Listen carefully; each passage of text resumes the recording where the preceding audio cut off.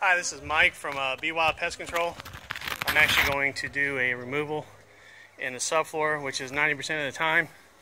So, like, if you ever have any questions on if the, you have si brick and siding, as you can see right here, all along that seam is the subfloor, and that's where the bees like to go in. So, um, you know, here at Bee Safe, we try to save them when we can.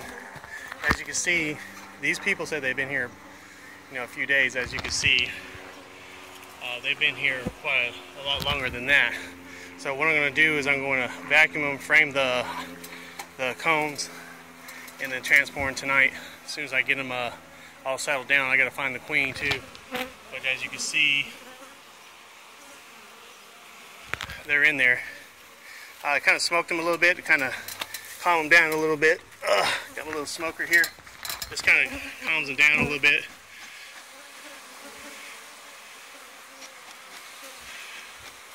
Uh, these guys aren't aggressive at all, so I mean these are good bees.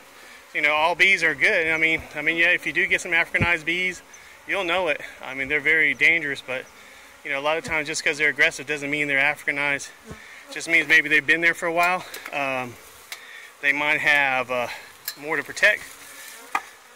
So, you know, when people are so frightened of bees, Africanized bees, it's not necessarily, I mean, I've had a few, you know, if they're Africanized, you'll know right off the bat the difference is in the aggressive nature of the bee itself. Um, if they're Africanized, I probably wouldn't be able to stand right here. They'd be all over me. Um, and when it comes to Africanized bees, I really don't keep them.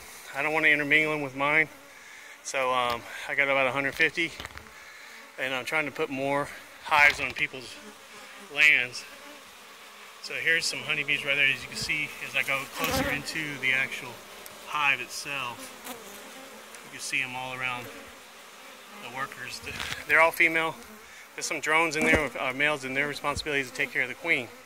Now the queen itself, you she's, you know, lays eggs. The average worker uh, probably lives about two to three weeks. Queens live about four to five weeks. Um, I, once I get them back to the yard, if I get the queen, uh, it's fantastic. Uh, I put them in their own hive. If not, I have to requeen them. But as you can say, on the two-story, you, once you have siding and brick, it's very common for them to get into your subfloor.